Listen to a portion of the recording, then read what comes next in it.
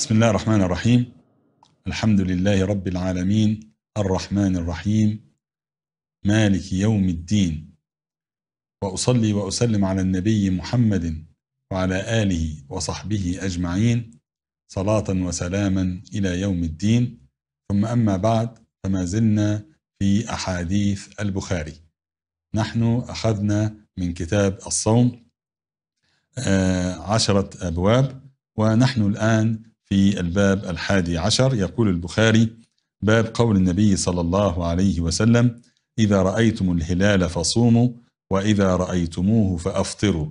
البخاري يعني يحب دائما أن يترجم بالأحاديث. قال وقال صلة عن عمار من صام يوم الشك قد عصى أبا القاسم صلى الله عليه وسلم. صلة بن أشيم يروي عن عمار ابن ياسر رضي الله عنه أن النبي صلى الله عليه وسلم يعني نهى عن صيام يوم الشك. فيقول من صام يوم الشك يعني اليوم الذي يشك فيه قد عصى أبا القاسم صلى الله عليه وسلم. وهذا يعني خذوها فائدة. يقول البخاري في الترجمة يعني في العنوان هذا يقال له حديث معلق لأنه ما أتى بالإسناد. قال وقال صلة عن عمار. فيعني إذا جاء بحديث هكذا فهو ثابت إلى من علق عنه. يعني هو هنا علق عن صلة عن صلة بن أشيم. فلذلك هو ثابت عن صلة. آه عن عمار من صام يوم الشك قد عصى أبا القاسم آه صلى الله عليه آه وسلم. فيوم الشك هنا في خلاف بين أهل العلم في تحديد ما هو يوم الشك.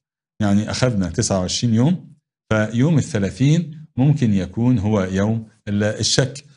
لكن بعض أهل العلم يقول يوم الشك إذا كان الجو صحوا يعني ما في غيم ما في سحاب.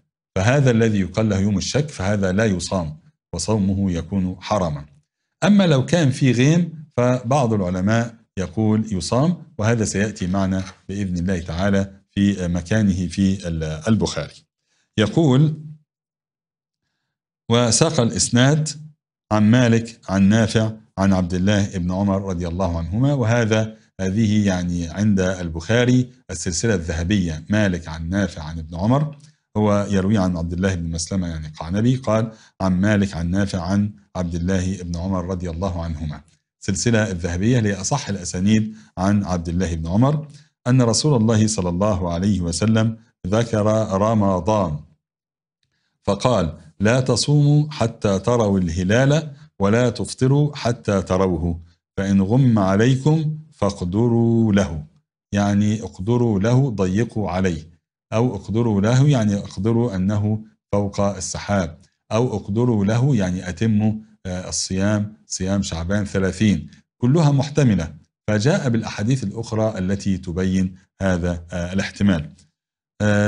هنا قال أن الرسول ذكر رمضان ما قال شهر رمضان فهذا يدخل في الباب السابق. يعني لماذا قال أتى بهذا الحديث في الباب السابق؟ لأن في كلمة رمضان وليس شهر رمضان وكله واسع. ثم ساق الإسناد عن عبد الله بن عمر رضي الله عنهما أن رسول الله صلى الله عليه وسلم قال الشهر تسع وعشرون ليلة فلا تصوموا يعني اليوم الثلاثين حتى تروه تروه أي ماذا؟ أي الهلال. فإن غم عليكم يعني صار في غمام في السماء فأكملوا العدة ثلاثين. يعني أكملوا العدة آه ثلاثين. آه هذه يحتمل عدة رمضان أو عدة شعبان. لكن هو آه في رواية صحيحة أكملوا عدة شعبان ثلاثين. كان بعض العلماء تكلم فيها من ناحية الأسانيد لكنها صحيحة أكملوا العدة عدة شعبان ورواها البخاري. تأتي معنا. فالعدة ثلاثين مقصود بعدة شعبان الرواية الآتية. قال وساق الإسناد عن جبلة ابن سحيم. قال سمعت ابن عمر رضي الله عنهما يقول قال النبي صلى الله عليه وسلم انتبهوا. قال الشهر هكذا وهكذا وهكذا. يعني كم ثلاثين. أو هكذا وهكذا وهكذا وخنس الإبهام في الثالثة يعني 29 يعني الشهر ممكن يأتي 30 وممكن يأتي 29 ففي هذه الرواية يقول قال النبي صلى الله عليه وسلم الشهر هكذا وهكذا وخنس الإبهام في الثالثة يعني عشرة وعشرة وتسعة صارت كام؟ تسعة وعشرين إذا يكون المجموع في 29 يوما ثم بعد ذلك نتراءى الهلال.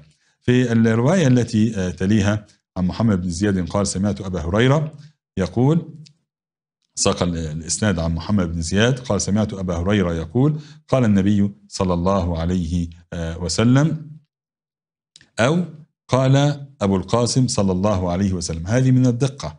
يعني يقول أنا ما أدري هل قال النبي يعني الراوي يقول ما أدري هل قال أبو هريرة قال النبي أو قال أبو القاسم وهو أبو القاسم هو النبي هو محمد صلى الله عليه وسلم بأبي هو وأمي لكن هذه من دقة الرواية.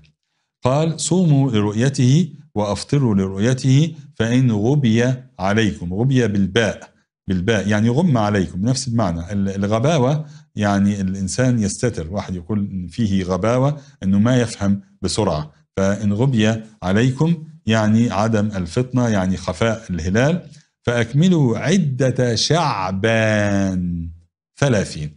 فهذه فيها بيان الاحتمال السابق. لأن في السابق أكملوا العدة الثلاثين بعض العلماء يقول لعله أكملوا العدة أي يحملوا عدة رمضان ثلاثين. يعني هذا مذهب الحنابلة. كان ابن عمر يبعث من يرى الهلال فإن لم يرى الهلال أكمل عدة رمضان أكمل شعبان 29 يوما ثم صام. صام أول يوم.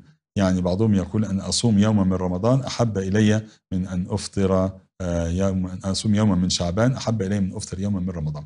لكن هذا الكلام مرجوح ليس صحيحا. الصحيح أننا إن وجدنا الهلال صحيحا واضحا لنا فإننا عندئذ نصوم.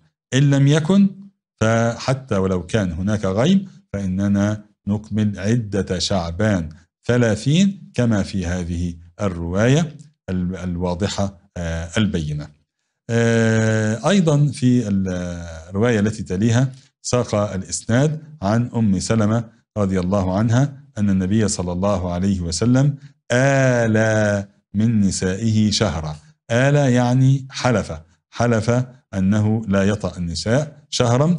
قال فلما مضى تسعة تسعة وعشرون يوما غدا أو راح يعني جاء إلى نسائه فقيل له إنك حلفت ألا تدخل شهرا؟ قال إن الشهر يكون تسعة وعشرين يوما. يعني يمكن الشهر يكون تسعة وعشرين يوما.